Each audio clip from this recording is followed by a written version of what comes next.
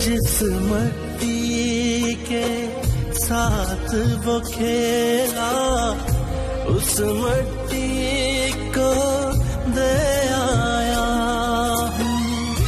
कर्ज चुका खून से अपने सारे ख्वाब बचा लाया।